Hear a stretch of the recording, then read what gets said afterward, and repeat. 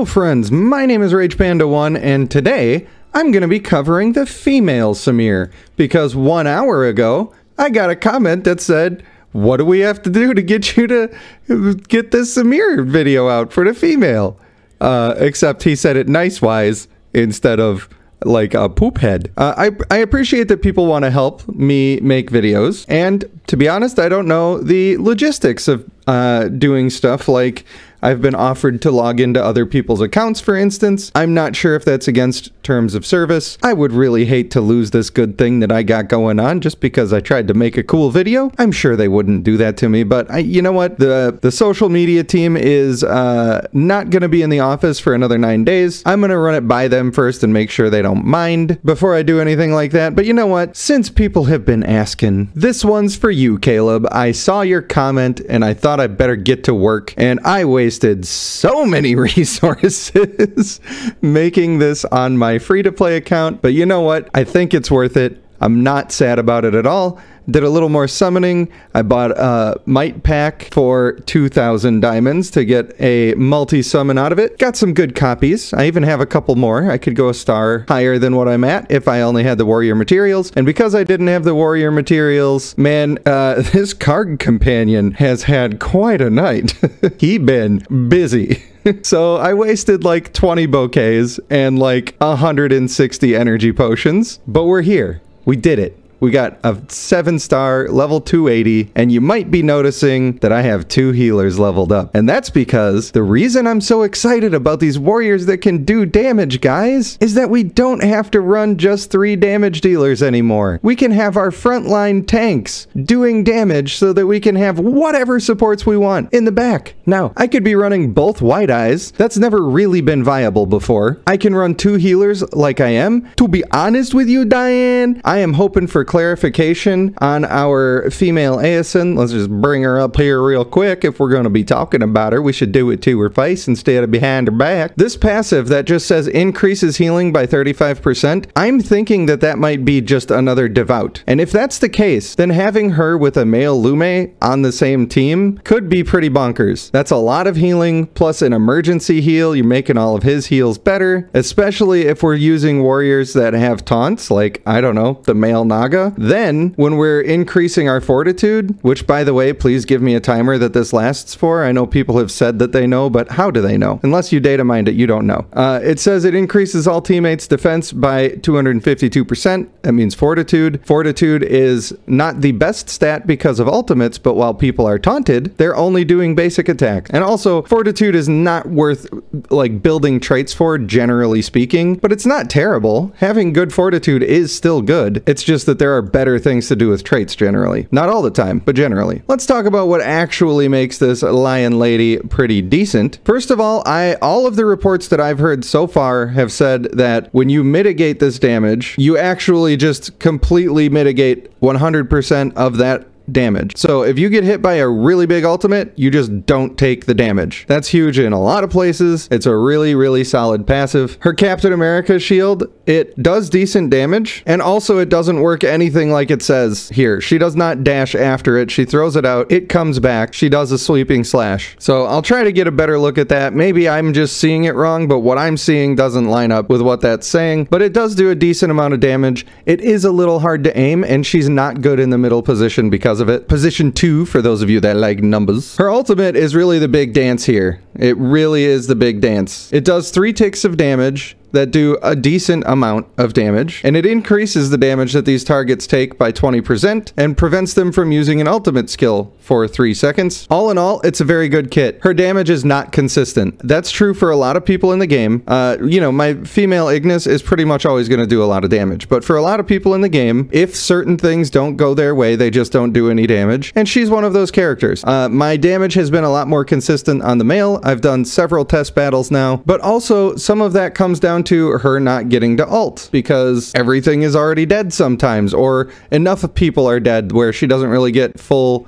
use out of it because I don't have her traits maxed out. I don't have anybody to marry to her on this free to play account that is still basically in its infancy. But when she does damage, she does a lot of damage. So this person is considerably higher than me and they are doing a very burst heavy squad here. That means I want to kill this female Lionstone before she gets to alt if I get the chance to do that. Because of that, you know, sometimes when I click to drag on BlueStacks, it just doesn't do the thing and that, you know it's a fine so what we're gonna try to do is we're gonna try to stack the battle over here we're gonna make her go to this far side now ideally this is not how i would set things up I would set the female Ignis on the left so that she's definitely going to be attacking in that direction, and then my female Simir would probably walk forward and it would be fine. But since I'm trying to test the female Simir, I want her line attack to hit in the way that I desire, and so I'm putting her in a way where that's probably going to happen.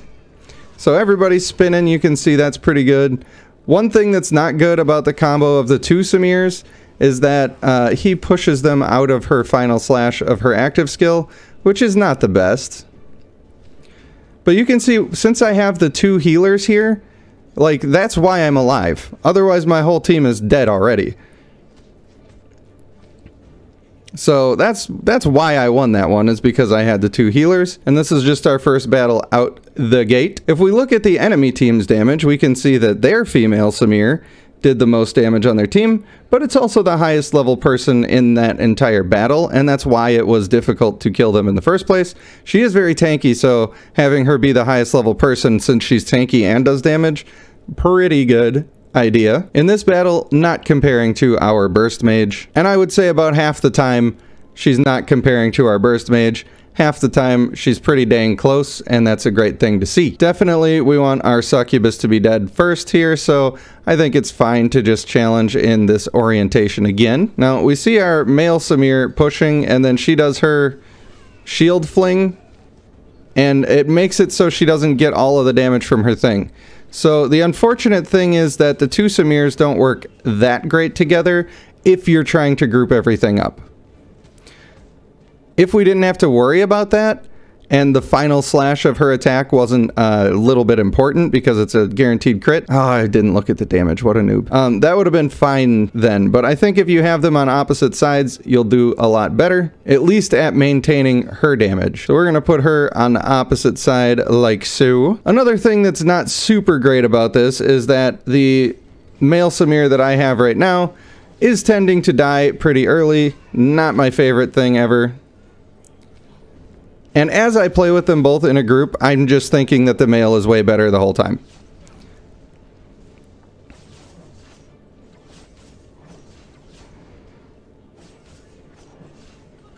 Come on, female white eyes, you can do it. She tried. Ooh, that was a nice teleport by the male Yiv. We should be able to get this out here. I think that we're going to be good. Yeah, now she's not going to CC me. Now do your active skill, you stupid. Bruh. Bruh. Not like this. Not like this. Thank you. Good lord. So you can see when we separated them out, it was a lot easier for us to get the damage out of this character, and I guess you could say that's partially a negative on the male Simir, and that is something that you need to be careful of, is that you're not pushing people out of active skills that you want to be hitting. It is fair to say that uh, the female Simir was the last alive there, so she got she got to pad her numbers a little bit. But I think that what you're seeing here is a pretty good representation of what she can do. On this particular team, I am going to switch these two because because I want that female Ugrel alt to be as far away from the rest of my team as possible, and that's just a good thing to look out for. And also we do want this female Lionstone dead, preferably before she gets the alt off, but not sure if she actually finished it there. It didn't look like she finished it. So no alt there, she's not going to have that much damage, that's fine. What are you going to do when your female Ignis is stealing all of the attention? So the other thing that it means that we have these warriors that do damage that can also be your tanks is aside from just doing two healers, which is fine, but I'm doing two healers on an account where I don't have any of my traits in order, I don't have energetic, brutal, honorable, pretty much nothing on any of my teammates. I don't have devout for the healers. So take that performance with a grain of salt because this is just not tuned well. We're just dealing with basic people here. But this also means that you could just have five damage dealers if you wanted to have five damage dealers. If you wanted to have two real tanks and also have a ton of damage boosting, you could do male White Eyes, female Lionstone, and still have another frontliner so your female Lionstone doesn't die before she has the chance to even do her ult. So my verdict is that female Simir is super good. I really like her. Male Simir in my opinion, is still better. The female is less disruptive to your team and easier to fit onto a team and have her perform well. The male is going to have more of a skill gap, and when he's played well, he's going to do more for you. So if you like one and not the other, that's fine. That's your choice. If you want one that's easier, you want the female. You can literally slaughter in as a frontliner on any team and you're going to have a good time. A lot of people are going to be wondering what I would do for traits and I can tell you that the ones that I have on my character now are not the traits that I would do. These are not a good combination of traits. At this level, a big scrappy like that actually does kind of decent work, but as we said earlier, fortitude ain't the best. If you're to go for the double healer team. You are going for a sustain comp, obviously and you would probably want energetic and honorable on this character in that case, and I do still think that she's worth having brutal on. And in that last slot, I might actually put one of the stacking traits, or just fierce, or even possibly one of the new defensive traits, like steadfast. That would be a perfectly usable trait setup, but I think that the best thing that she does is her ultimate, and so I think the standard Speedy Boy build is going to be the way to go. She does decent amount of damage, so brutal is still worth having. If you don't want to use her for damage, damage at all, you could go ahead and do that and just have energetic, honorable, agile, and focused, and you're going to get a ton of much quicker ultimates, especially if your team starts dying. So I hope that gives you some idea of the quality of the champion and what you can expect from her. I think that the moral of the story is that warriors are back on the menu, teams are about to get a lot more interesting, and this is great for the game.